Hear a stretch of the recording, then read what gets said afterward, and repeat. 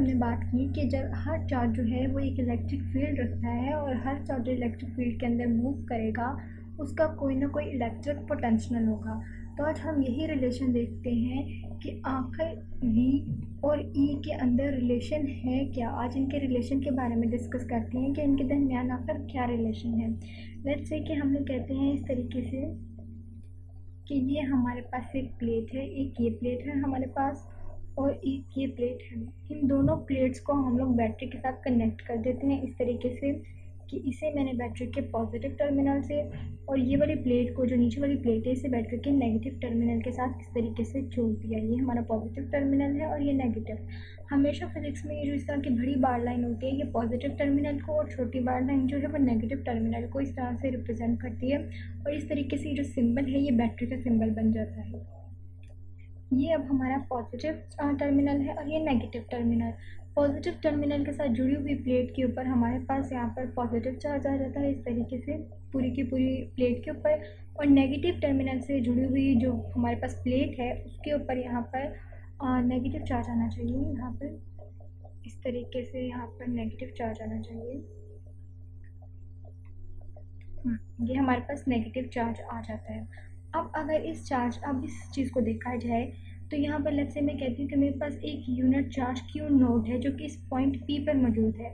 तो यहाँ पर एक क्यू नोड चार्ज होने की वजह से इलेक्ट्रिक फ़ील्ड लाइन जो है, वो इस तरह से आती है कि वो हमेशा पॉजिटिव टर्मिनल से नेगेटिव टर्मिनल की तरफ़ आती हैं। किसी भी फ़ील्ड के अंदर, किसी भी चार्ज की वजह से, कोई भी फ़ील्ड प्रोड्यूस हो, चाहे वो पॉजिटिव की वजह से हो या नेगेटिव की वजह से, हमेशा जो इलेक्ट्रिक फ़ील्ड लाइन की डायरेक्शन है वो पॉजिटिव से नेगेटिव की तरफ़ ही आती है इस तरीके से। ये हमारी जो है वो डायरेक्शन आ गई। इसे इस तरह से मुझे रिप्रेजेंट करना चाहिए। इस तरीके से ये हमारे पास जो है, इस तरह से इलेक्ट्रिक फ़ील्ड लाइंस की डायरेक्शन आ गई। और इन इलेक्ट्रिक फ़ील्ड लाइन के अंदर मैं लेट कर लेती हूँ कि ये मेरे पास क्यू नोट चार्ज है, जो कि एक पॉइंट पी पर पड़ा है।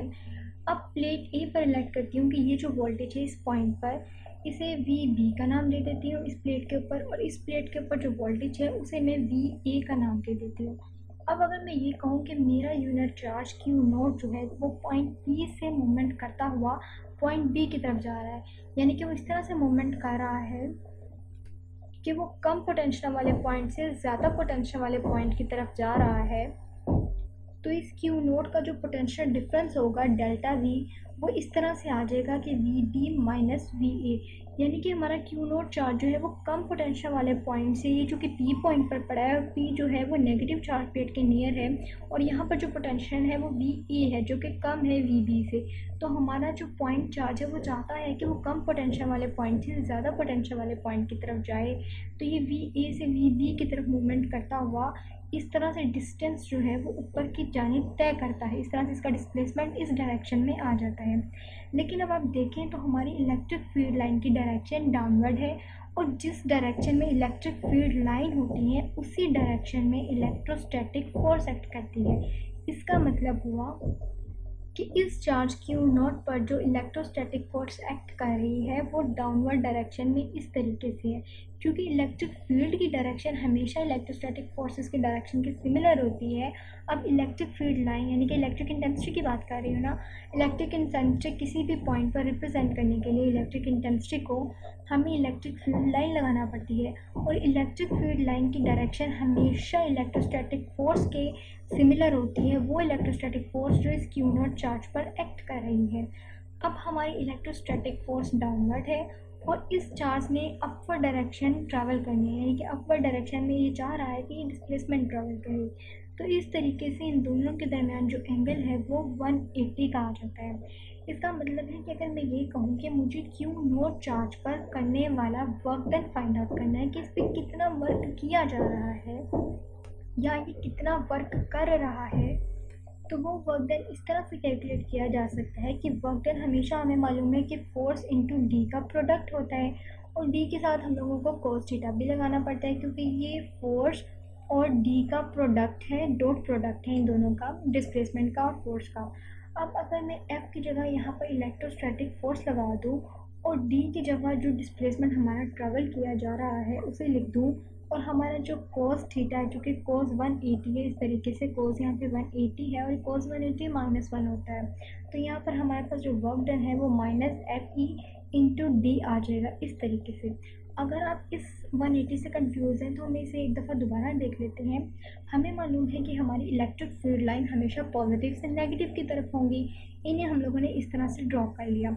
अब हमने कहा कि हमने वोल्टेज यानी कि वी ए प्लेट के नज़दीक, जहाँ उस प्लेट के नज़दीक, यहाँ पर, यानी कि ये हमारी नेगेटिव प्लेट है ना, यहाँ पर हमने एक पॉइंट सपोज़ कर लिया पी इस पॉइंट पी पर, इस प्लेट के ऊपर जो वोल्टेज है, वो वी ए वोल्टेज है। ये पॉइंट जो है, वो कम वोल्टेज से वी बी वोल्टेज जो कि पॉजिटिव चार्ज का वोल्टेज है वो ज़्यादा है, उसकी तरफ़ मूवमेंट शो करता है तो चार्ज ऊपर की तरफ़ जाना चाह रहा है।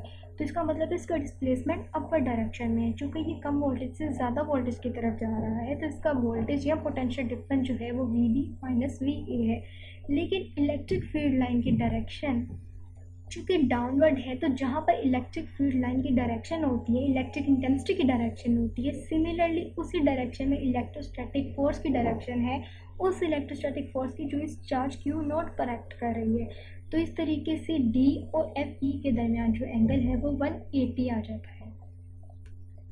अब जो इलेक्ट्रिक फ़ील्ड या इलेक्ट्रिक इंटेंसिटी है, किसी भी इलेक्ट्रिक फ़ील्ड के अंदर अगर इलेक्ट्रिक इंटेंसिटी को आपको रिप्रेजेंट करना हो फॉर्मूले के फॉर्म में तो आपको पता है कि इलेक्ट्रिक इंटेंसिटी किसी भी यूनिट क्यू नोट चार्ज पर अमल करने वाली इलेक्ट्रोस्टैटिक फोर्स होती है।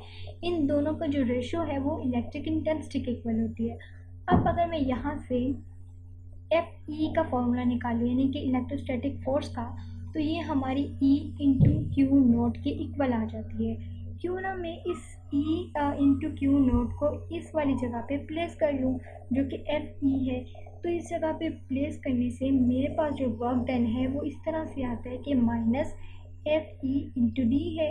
अब एफ़ ई e की जगह मैं यहाँ पर ई इंटू क्यू नोट लगा लूँ। तो यहाँ पर ई इंटू क्यू नोट लगाने से मेरे पास वर्क डन का जो न्यू फार्मूला बनेगा, वो minus E Q naught into D आ जाता है। अगर मैं इसे थोड़ा सा अरेंज करके इस तरीके से लिखूँ कि क्यू नोट को डब्ल्यू के नीचे ले जाऊँ वर्क डन के नीचे तो work done divided by Q naught is equals to minus E into D और इस चीज़ के बारे में भी आप जानते हैं कि जब भी किसी क्यू नोट चार्ज पर कोई ना कोई वर्क डन किया जाए तो इसे हम लोग कहते हैं कि ये इलेक्ट्रिक पोटेंशियल है उस क्यू नोट चार्ज का। तो अगर मैं इसे यहाँ पर W divided by Q naught को V लिख लूँ तो इससे मेरे पास फॉर्मूले पर कोई भी जो फ़र्क है वो नहीं पड़ता। क्योंकि मुझे मालूम है कि मेरा जो इलेक्ट्रिक पोटेंशियल है किसी भी चार्ज का, किसी भी इलेक्ट्रिक फ़ील्ड के अंदर, वो उस चार्ज क्यू नोट पर किया जाने वाला वर्क है। तो इस तरीके से मेरे पास जो वोल्टेज और इलेक्ट्रिक इंटेंसिटी के दरमियान रिलेशनशिप निकलता है वो ये है कि V is equals to minus E D होता है। अब चूँकि हम लोगों ने बात की थी कि हमारे पास एक पॉइंट एक पॉजिटिव चार्ज है अब इस Q पॉजिटिव चार्ज की वजह से जो इलेक्ट्रिक फ़ील्ड है, वो इस तरीके से है। और इलेक्ट्रिक फ़ील्ड के अंदर मेरे पास जैसे कि एक और पॉइंट है जो इजीली मूवमेंट कर रहा है इस फ़ील्ड के अंदर। और वो जो है, वो वी ए से वी बी की तरफ़ जाता है। वी ए से मूव करता हुआ वी बी की तरफ़ जाता हुआ है, जाता है। तो इसका जो पोटेंशियल डिफरेंस है, वो डेल्टा वी आ जाता है। इसका मतलब है उसने इस पॉइंट से अपना जो फासला है, वो ट्रैवल करना शुरू किया है और वो इस पॉइंट तक पहुँचा है। अब इस पॉइंट तक जाते जाते उसने कुछ ना कुछ तो डिस्टेंस ट्रैवल किया है ना, उसे मैं लग से कह देती हूँ कि ये हमारे पास जो है वो डी है और इन दोनों का जो पोटेंशियल डिफरेंस है वो डेल्टा वी है। अगर मैं इसे इस तरीके से लिखूँ कि डेल्टा वी की जगह मैं डेल्टा वी लिख लूँ और minus E as it is E और डी की जगह मैं यहाँ पर डेल्टा डी लिख लूँ तो इससे मेरे पास फार्मूले पे तो कोई फ़र्क नहीं पड़ेगा, लेकिन इससे ज़रा मेरा फार्मूला मज़ीद जो है वो सिंप्लीफाई हो जाता है कि मैं दो एक यूनिट चार्ज की बात कर रही हूँ, जो कि दो पॉइंट के दरमियान मूवमेंट कर रहा है, जिनका डिफरेंस जो है, जिनका पोटेंशियल डिफरेंस जो है वो डेल्टा वी है, और उनके दरमियान जो डिस्टेंस है वो डेल्टा डी है। तो इस तरीके से अगर मैं सिर्फ़ ई e के लिए रिलेशनशिप निकालूँ ई e के लिए तो ई e को मैं इस तरह से लिख सकती हूँ कि ई जो है वो minus delta V divided by delta D ये जो चीज़ है, इस चीज़ को मैं इस तरह से रिप्रेजेंट करती हूँ कि जो हमारे पास लेट्स से किसी इस कलर से कह लेती हूँ, ये हमारे पास जो delta V divided by delta D है, इसे हम लोग फिज़िक्स में कहते हैं कि जब भी कोई चीज़ किसी भी डिस्टेंस से डिवाइस हो, यानी कि यहाँ पे कोई भी चीज़ है आपके पास लेट्स से कि यहाँ पे ए है बी है समथिंग है, यहाँ पे ए है या बी है या सी है, कुछ भी है, कोई भी चीज़ है फोर्स हो सकती है वोल्टेज हो सकती है, कोई भी चीज़ है फिज़िक्स की कोई भी टर्म है, जब भी कोई टर्म किसी डिस्टेंस से डिवाइड होती है, यानी कि डेल्टा डी से डिवाइड हो तो इस चीज़ को आप ग्रेडियंट ऑफ़ ए बी या सी कहेंगे।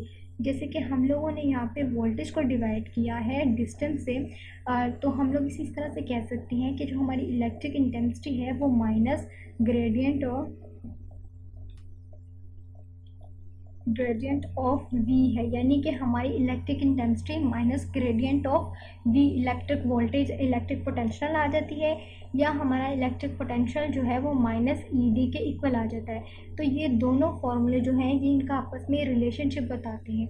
अगर आप इसे मज़ीद भी सिंप्लीफाई करना चाहें तो आप ये भी कह सकते हैं कि जी मैं डेल्टा डी की जगह डेल्टा आर लिख सकता हूँ।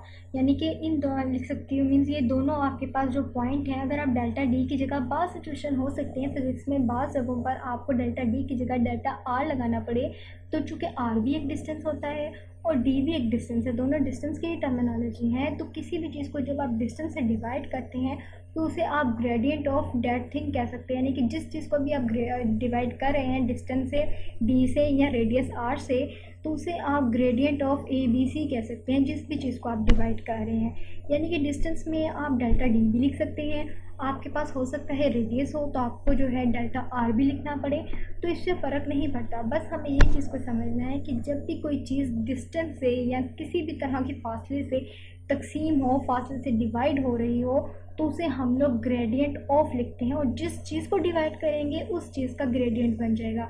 जैसे कि यहाँ पे वोल्टेज को इलेक्ट्रिक इलेक्ट्रिक पोटेंशियल को हम लोगों ने डिवाइड किया है वी को डिवाइड किया है तो इसे मैं ग्रेडियंट ऑफ़ वी कह सकती हूँ। तो इसका मतलब है इलेक्ट्रिक इंटेंसिटी ई का रिलेशनशिप एक ये आ जाता है कि वो माइनस ग्रेडियंट ऑफ़ वी के इक्वल है, और जो हमारा वी है वो इसके इक्वल आ जाता है कि वो माइनस ई डी के इक्वल आ जाता है।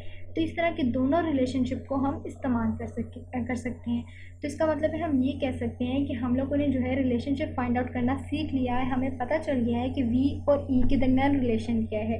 वी जो है वो माइनस ई डी के भी इक्वल है और जो हमारे पास ई e है वो minus V gradient of V है। यहाँ पे ग्रेडियंट ऑफ़ वी है। अगर मैं इस चीज़ को शुरू में ही कह देती तो हमें ये समझना डिफ़िकल्ट हो जाता कि आखिर ग्रेडियंट है क्या। लेकिन पहले हम लोगों ने इसकी डेरिवेशन की और डेरिवेशन करते हुए हम लोगों ने ये फार्मूला डिराइव किया और इस फार्मूले से हमारे पास ई e के लिए एक फार्मूला आ गया। इसका मतलब है इन दोनों का रिलेशनशिप निकाल लिया वी का ई e के साथ और ई e का वी के साथ। तो होप सो आपको इन दोनों का इलेक्ट्रिक वोल्टेज वी का और इलेक्ट्रिक इंटेंसिटी ई का आपस में रिलेशनशिप समझ आ गया कि किस तरह से एक फ़ील्ड में एक इलेक्ट्रिक फ़ील्ड के अंदर ई भी प्रेजेंट होती है और उसी इलेक्ट्रिक फ़ील्ड के अंदर मूवमेंट करते हुए चार्ज के ऊपर इलेक्ट्रिक पोटेंशियल वी भी मौजूद होता है।